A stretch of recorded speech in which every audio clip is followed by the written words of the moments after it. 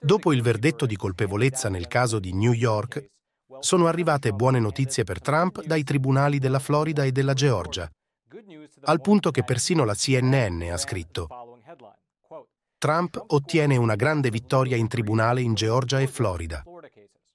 Per prima cosa, la Corte d'Appello della Georgia ha sospeso il procedimento sulle elezioni, cioè ha deciso di appurare se Fanny Willis debba o meno essere ricusata, sospendendo così tutti i procedimenti in corso. Ecco l'ordinanza.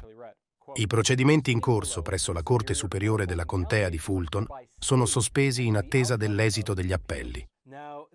Il procedimento è arrivato dopo diverse manovre legali. Forse ricorderete che diversi mesi fa Fanny Willis è stata accusata di condotta scorretta perché è emerso che aveva incaricato il suo compagno di condurre l'accusa contro il presidente Trump e gli altri coimputati. Infatti, All'inizio di quest'anno, l'imputato Michael Roman ha chiesto di ricusare il procuratore distrettuale per conflitto di interessi e malversazione e i coimputati si sono associati con ulteriori accuse di illeciti.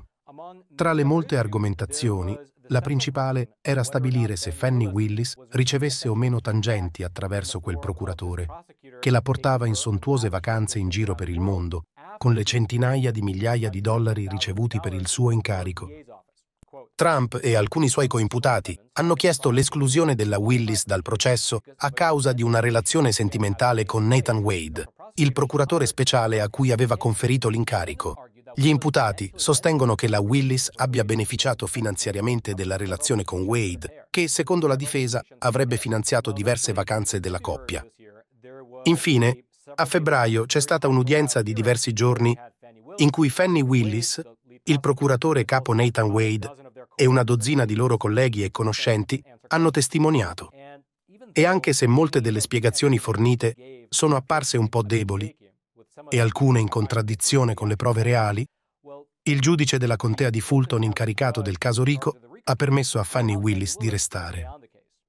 A marzo, dopo un mini processo in cui gli avvocati di Trump e dei suoi coimputati hanno cercato di dimostrare la loro tesi contro Willis e Wade, il giudice McAfee ha ritenuto che non ci fossero prove sufficienti che dimostrassero con certezza che la Willis avesse beneficiato finanziariamente della relazione. La testimonianza della Willis trasmessa in tv ha messo in primo piano la sua vita privata, distogliendo dalle accuse che Trump e altri devono affrontare in Georgia. Infine il giudice ha deciso che la Willis avrebbe potuto continuare a presiedere il processo se Wade si fosse dimesso, cosa che poi ha fatto.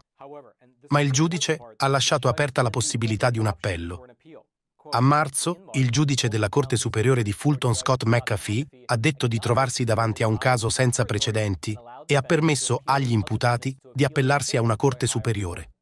Ed è quello che ha fatto Michael Roman, uno dei coimputati del presidente Trump.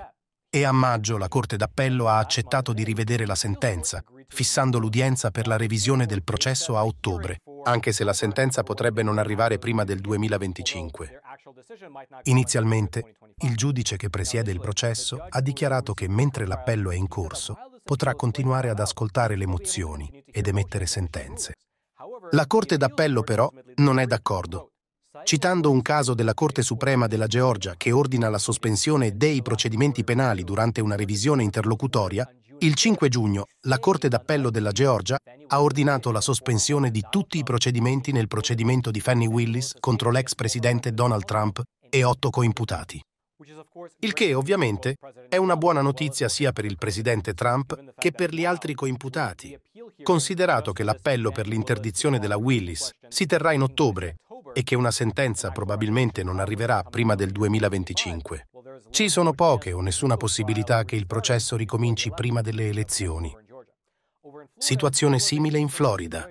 Il giudice ha sospeso a tempo indeterminato anche il processo per i documenti riservati, dopo aver scoperto che Jack Smith e la sua squadra di procuratori federali non hanno lasciato i documenti di Donald Trump nello stesso ordine in cui dicevano di aver fatto, i legali di Trump hanno presentato un reclamo, lamentando di non trovare quello che cercavano e chiedendo quindi al giudice di rinviare il processo.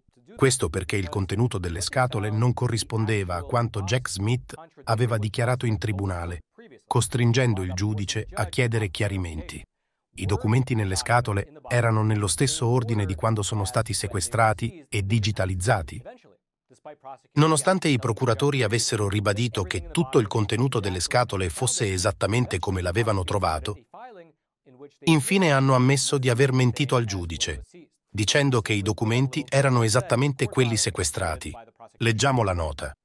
Il governo riconosce che questo è incoerente con quanto il consulente del governo aveva precedentemente compreso e rappresentato alla Corte.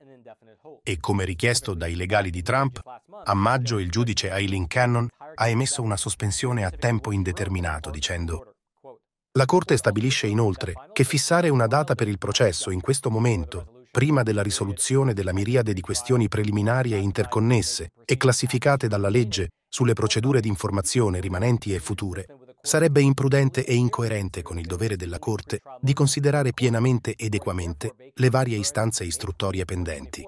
La Corte annulla pertanto la data del processo del 20 maggio 2024 e il relativo calendario, che sarà ripristinato con un'ordinanza separata dopo la risoluzione delle questioni sottoposte alla Corte, nel rispetto del diritto dell'imputato a un giusto processo e dell'interesse pubblico a un'amministrazione equa ed efficiente della giustizia.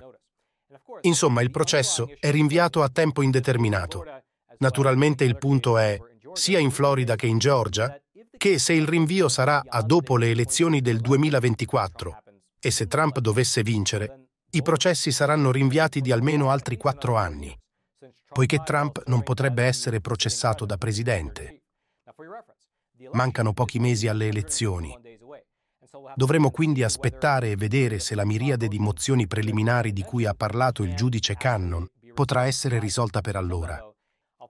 Tutte le informazioni sono nella descrizione qui sotto. Arrivederci alla prossima. Restate informati e soprattutto restate liberi.